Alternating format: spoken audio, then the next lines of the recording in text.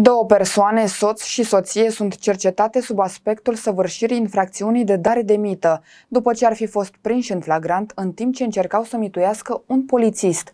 Totul s-a întâmplat în municipiul Orșova. Azi noapte, în jurul orei 2, polițistul a oprit în trafic pe DN6 în municipiul Orșova un autoturism care a efectuat o manevră de depășire neregulamentară.